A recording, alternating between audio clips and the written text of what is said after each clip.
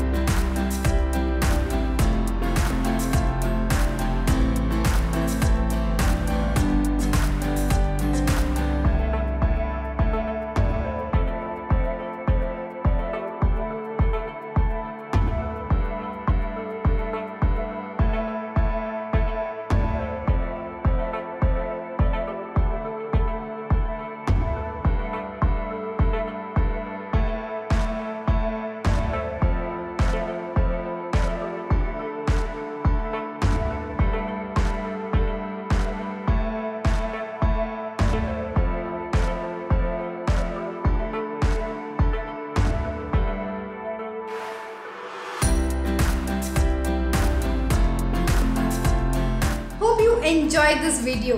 Do you also wish to do this kind of experiments at your home? But wonder where to get the raw materials?